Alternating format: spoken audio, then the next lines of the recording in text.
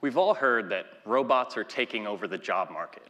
But what if I told you that retail and manufacturing aren't the only industries where robots are making a splash?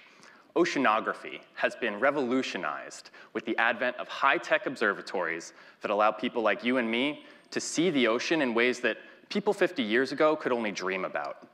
Today, we have robots that dive thousands of meters below the ocean surface, and robots that can see a centimeter from an orbit thousands of miles away. Now, we don't always think of satellites as robots, but they are. And for oceanography, they provide an unparalleled daily global snapshot of the world's oceans. But when it comes time to validate the data from these multi-million dollar taxpayer-funded ventures, we fill a boat with people, fuel, scientific instruments, and we send it to the middle of the ocean to repeat the satellite's measurements. Sound expensive? Tedious?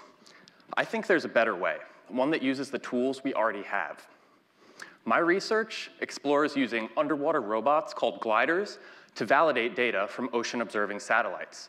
Now, gliders are already taking all the same measurements that are taken on a satellite validation cruise at a fraction of the cost. If we can use the resources we already have more efficiently, satellite oceanography can rocket forward and leave the tedious jobs to the robots.